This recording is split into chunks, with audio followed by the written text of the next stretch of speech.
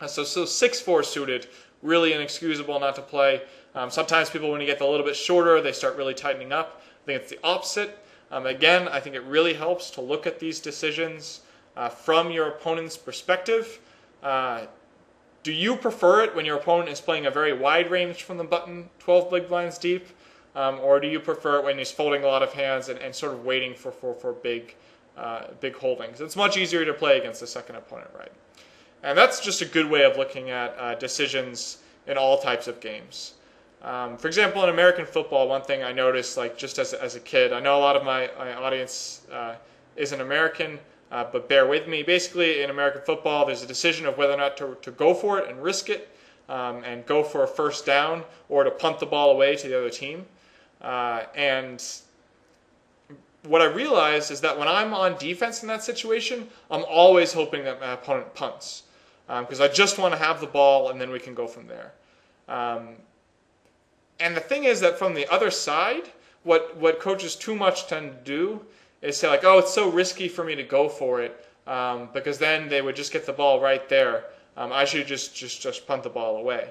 Um, but there's a problem if you're doing the exact same thing that your opponent wants you to do. So anytime you you you, you think about what should I do here, you can kind of flip the tables and think, um, if I were the opponent, like who would I want to play against, and who wouldn't I want to play against? So we have some king four offsuit where we just fold on the button. The trend of, of folding sort of king rag hands on the button is, is one of my least favorite trends. Um, your opponent has to be extremely aggressive before that becomes good.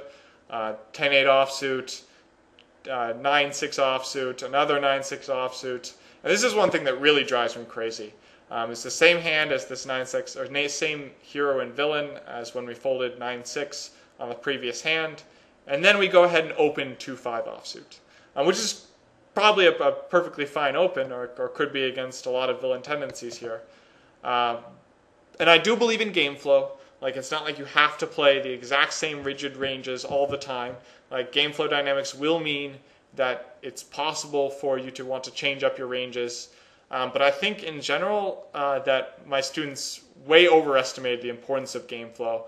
Of like, oh, I folded the last few hands, I, sh- I should open here, because um, that's it goes back to what I said earlier about like strategy that sounds cool and interesting and how like the top players are using it to beat you. And so people get kind of sort of enamored with that type of strategy.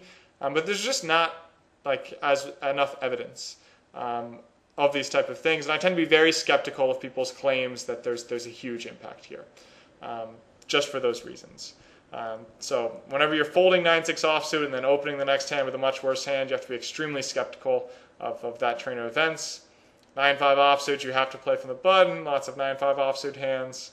10-6 um, offsuit, 5-7 offsuit, um, like 5-10 offsuit.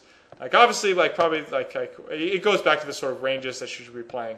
Um, but I think that dragging through these hands really makes the point of how much edge you give up uh, by not playing. Uh, even under 10 big blinds, uh, like when you have like 10-6 uh, for 9 big blinds that isn't a shove, I think people, some people are way too quick just to auto fold this. Because um, again, you have to think about the other perspective. Nine big blinds deep, when your opponent min raises, like alarm bells are going off in your head. Um, you're thinking like, wow, like, like that, that's very likely to be a induce in a lot of cases. And you're backed up by all these strong ranges that you are inducing with, like all these strong hands that you are inducing with at that stack size. Um, so people don't take advantage of that enough and don't start min raising more around the like 8 to 12 big blind because if they min raise and then get shoved off their hand, then they lose a big portion of their stack.